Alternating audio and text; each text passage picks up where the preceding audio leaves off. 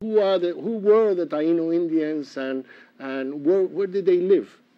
Well, the Taino Indians, I w- I wouldn't say that they were, it's the who we are. Okay. um, it's- we're very much First correction, right there. There you go, right off the bat. Well, the Taino people, or what we call the classic Taino, which were the, the people that Columbus encountered in 1492, Mm-hmm. were a, a mixture of a bunch of different peoples that had entered the Caribbean stretching over 7,000 years.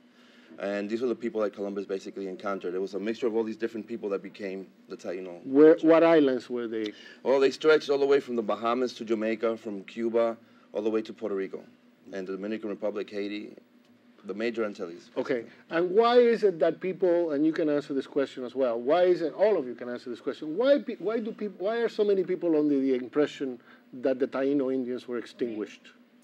Well, that has a lot to do with historical inaccuracies. Um, certainly, um, the history is written by the conqueror, not by the conquered. And basically, um, since the very beginning, you know, um, before 1492, there were no Indians in, living in the Americas, because Indians, that the name didn't apply to the to the people, the Aboriginal peoples of, of the hemisphere. As soon as Columbus landed, he called people Indians, then we became Indians. Later on, we became Puerto Ricans, Dominicans, and so on and so on. So in every stage of history, we're labeled as something different and this is how basically bit by bit we we come, we get written out of the picture. What is out there in New York that we can see every day that's Taino, and you guys who know can identify? Look, that comes that comes from our roots. That's our heritage. Is that is that very common things that you see in the way people dress, in the food that we eat? Uh, is is that the kind of stuff that you can easily identify? Every single time that you eat yuca, that's something that's very Taino. You know, um, the words that we speak on a daily basis. You know, you'd be surprised how Part many. of our vocabulary. Yeah, uh, our um, uh, language is basic is very influenced by Taino um, language, um, to a greater extent that, that than most people actually um, understand. Um, everything from the names of all the of most of the towns in the Caribbean are of Taino extraction. So it's a very deep uh, influence. I'm going to meet uh, your colleague here, Ir- Irka, and she's here with a whole bunch of incredible instruments that uh, she was playing right before we began, and it was, uh, the sound of this thing is amazing. It sounds like a drum, but it's a piece of wood. Yeah, Welcome to the is. show, and, and tell me about tell me about the uh, the music of the Taino.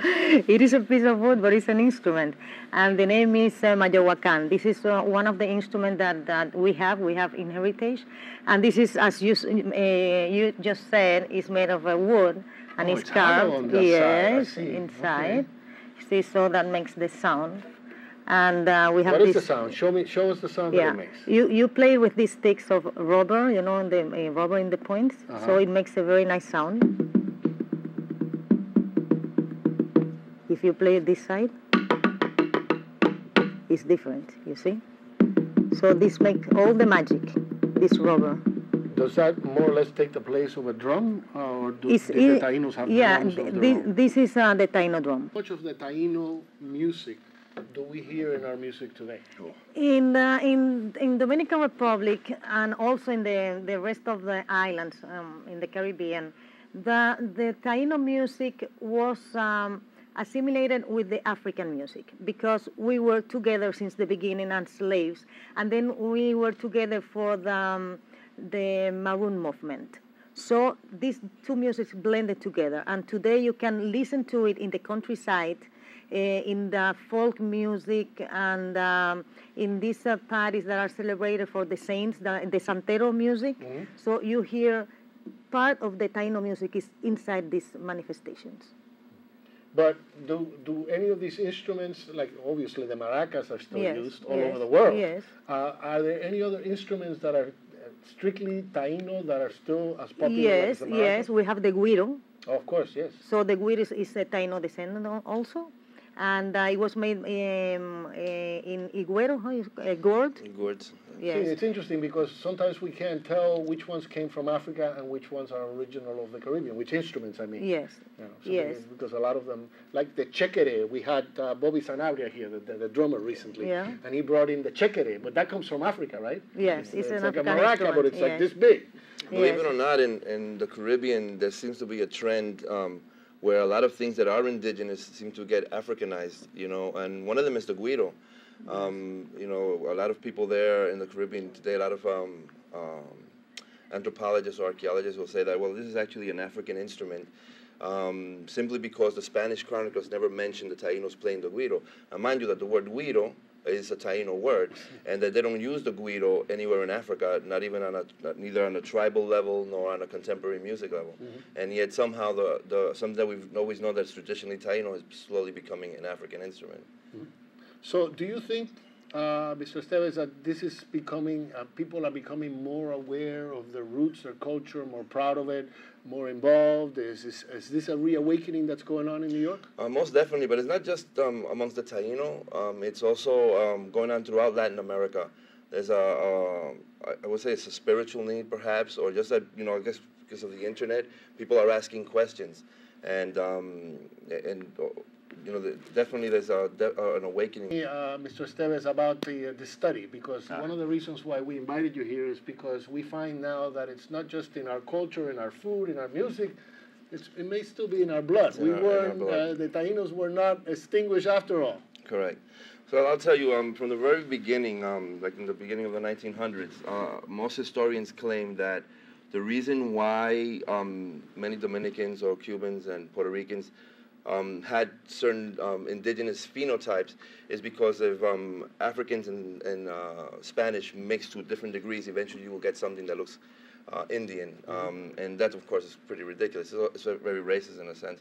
Um, so in 1999, Juan Martinez Cruzado, a geneticist from um, Mayagüez, Puerto Rico, from the University of Mayagüez, decided to do a study, and basically what they do, did was um, Let's take a break and tell me about the study when we come back. We're learning all about Taino history, Taino culture, Taino food, Taino music. Uh, we're delighted to have you on the program. I cut you off before we took a break. Yes, you did. Uh, I'm sorry. Uh, tell me about you know what this uh, study that is being done about the DNA test, the Well, blood. uh, I'm sorry, keep stepping on me. Well, basically, um, they took um, 800 samples from throughout Puerto Rico, um, and these were all based on uh, census records, you know, in different municipalities. And um, to everyone's um, surprise, even to the geneticists that did the study, 61% of all Puerto Ricans have mitochondrial DNA in, in them. Now, mitochondrial DNA is the DNA that's passed down from the mother to her children, but only the woman could pass this down. Um, basically, meaning that the mother of the Puerto Rican people was an indigenous woman. Okay? Um, now they've actually taken this study to the Dominican Republic as well. They just concluded a, a major study there um, in June with about 500 something samples, and uh, already the results are coming out.